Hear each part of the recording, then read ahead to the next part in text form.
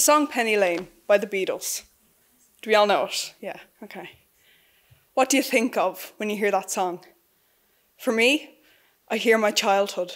I hear my mum playing it in the car and telling me the backstory. I hear my parents telling me they got engaged on Penny Lane. I hear them splitting up a couple of years later. But it's still my dad's ringtone for my mum to this day. That song, it means so, so much to me. And the fact that someone else can hear it and not get the same feeling of nostalgia that I get intrigues me. My interest in this topic started around early December of last year, when in music class we watched a documentary which followed neurodegenerative disease patients and their journey through musical education and therapy. There was amazing conclusions from their studies, such as the fact that socially shared musical activities help develop personality skills and cooperative effort, and that musical education helps develop the, co the cognitive, affective, and, psycho and psychomotor aspects of human development. Now, while these drawbacks were amazing, it's not what stunned me. What stunned me was the personal stories of these people. People who haven't been able to communicate with their family members in years come alive at the sound of their favourite song.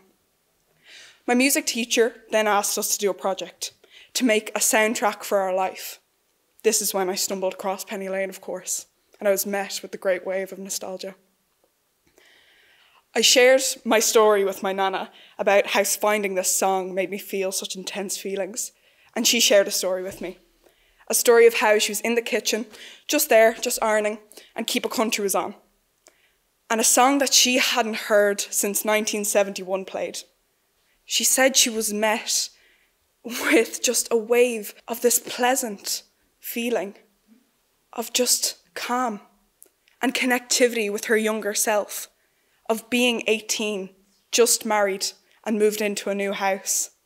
A connection with her younger self. She couldn't even remember the name of the song, just the feeling it gave her. Unfortunately, later on that December, my other Nana passed away. As all funerals are, it was a really, really difficult day.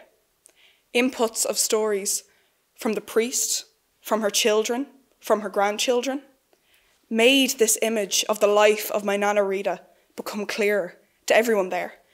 But it was at the crematorium when her chosen song played, we really heard her humour and her personality. It was Top of the World by the Carpenters.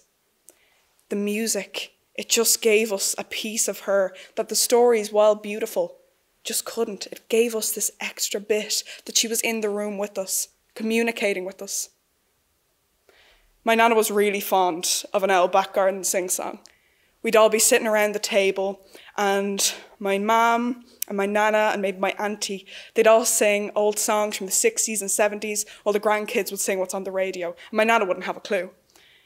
Whether we could also sing Irish folk songs. Now, God forbid we know the words to any of these songs, but it was just the connectiveness, the, the feeling we got Whenever my auntie is in times of anxiety, she sings a song that she hasn't heard since my mum sang it at her junior infant's Christmas recital. But any time she gets slightly anxious or troubled, she sings it and it grounds her. My mum and I, in the car, whenever we're going somewhere like the airport or the hospital, we sing old Christian primary school hymns, not for any religious reason, but because of the feeling of the connect and the grounding and the familiarity of these songs that bring us together. Folk songs have emerged over centuries as a form of entertainment that could also be used for education, and it could provide well springs of resilience and rebellion and sedition for the working class.